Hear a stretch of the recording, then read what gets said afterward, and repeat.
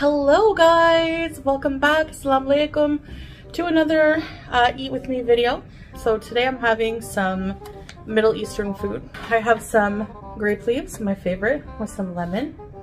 I have different kinds of sambusa, uh, some fatire, which is kind of like an empanada, Middle Eastern empanada. This has meat and akawi cheese, and this has um, halloum, halloumi, olives, za'atar, which is thyme and tomato. And these are lokma, lokmat stuffed with cream. And this is kinza, Saudi Arabia soda. She's really taking advantage of Salah not being around these days.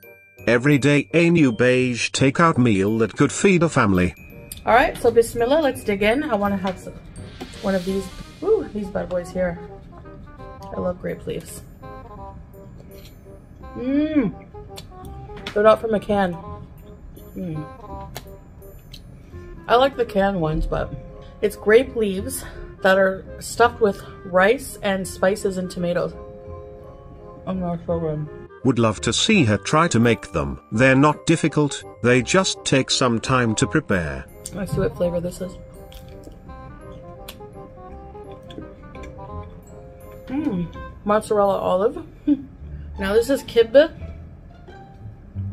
kibbeh It's uh, this one has meat inside. It's kind of like arancini, like rice balls, but this is bulgur wheat, and they're fried, but they they're stuffed with um, different things. Now this is meat one. Mmm. Very good. Mm -mm. I am going to try to make this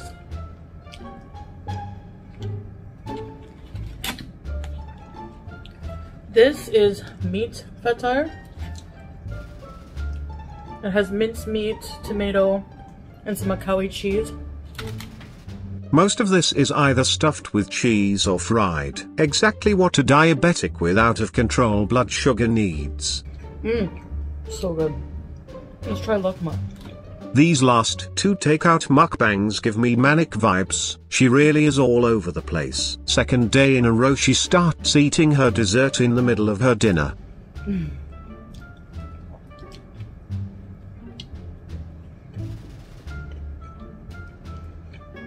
Mm.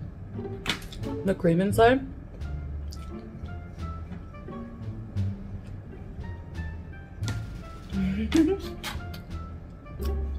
I think it's also about time I try to make my own grape leaves. Let's see what this one is.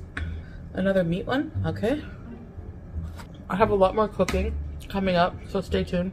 When Salah returns and puts his foot down again. The best takeout grape leaves I've had. I'm in the land of grape leaves. I don't think it's like a Kuwaiti food.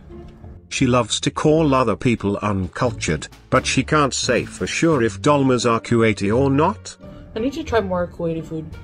I've mostly only tried machboos. if you're wondering, yes, I'm getting full. then maybe, I don't know, stop eating. Yum. I find a lot of Middle Eastern food, they use bulgur a lot. Bulgur wheat. Even in their desserts. I'll just eat the cheese. oh! Hi! what are you doing here? Whoever it is, we know it ain't Salah. This cat is funny. Yes, you are. Alright guys, I'm gonna go wash my hands. That's Cap. Yeah, thank you for having dinner with me. Alright guys, that's it. I'm gonna go make a tea. Thank you so much for watching and I'll see you in the next one. Bye guys.